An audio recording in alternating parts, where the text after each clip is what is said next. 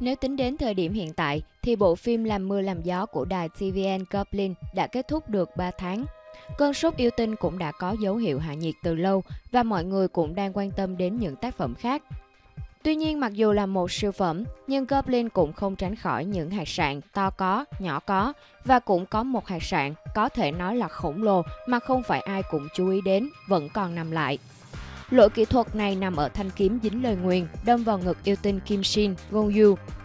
Khi Tien Tak, Kim Goyen đến tìm Kim Shin và nói rằng mình chính là cô dâu của yêu tinh, cô đã chứng minh bằng cách chỉ điểm thanh kiếm trên ngực anh ở cuối tập 3. Lúc đó thanh kiếm của Kim Shin có cuốn vải ở chui. Tuy nhiên sang tới tập 6, khi Untuck chuẩn bị rút thanh kiếm ra, miếng vải này đã không cánh mà bay khỏi chui của nó. Đến tập 7, miếng vải lại quay trở lại khi cô suýt thì rút được thanh kiếm ra khỏi người chồng yêu tinh.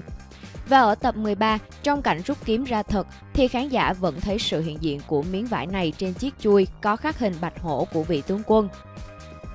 Điều này đã khiến cho những khán giả tinh ý cảm thấy khó hiểu. Vậy thực chất thanh kiếm này có hay không có miếng vải cuốn trên chui? Hay có phải chỉ là anh chàng yêu tinh tháo ra một lát để mang đi giặt vì bẩn? Chúng ta hãy cùng xem lại một vài phân cảnh trong tập đầu tiên lúc tướng quân Kim Shin tử nạn để có thể biết được câu trả lời. Thanh kiếm đã gắn bó với Kim Shin vào sinh ra tử, biết bao nhiêu trận chiến oanh liệt. Bên cạnh hình bạch hổ oai phong ra thì trên chuôi kiếm còn có quấn một mảnh vải đã nhuốm máu và màu thời gian. Khi bị vu oan tội phản tặc và phải nhận cái kết đắng, một cận thần của anh chính là người đã đâm thanh kiếm đó vào ngực Kim Shin. Lúc đó, miếng vải vẫn không rời chuôi kiếm. Lúc nằm trên cánh đồng hoa, thanh kiếm trên người vị tướng quân tài ba này vẫn không có gì thay đổi. Như vậy, có lẽ các nhân viên của đoàn làm phim Goblin đã để xảy ra lỗi kỹ thuật ở tập 6. Không hiểu sao họ lại quên vẽ thêm miếng vải cho thanh kiếm ở mỗi cảnh này. Một chút sơ sẩy của nhân viên đoàn làm phim đã khiến cho Goblin xuất hiện một hạt sạn to đùng.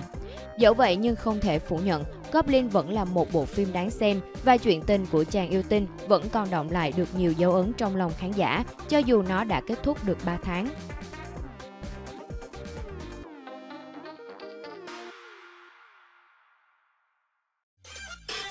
Cảm ơn quý vị và các bạn đã quan tâm theo dõi. Nếu thích, hãy like và share. Và đừng quên bấm đăng ký để theo dõi thêm nhiều video hấp dẫn hơn của chúng tôi. Xin chào và hẹn gặp lại.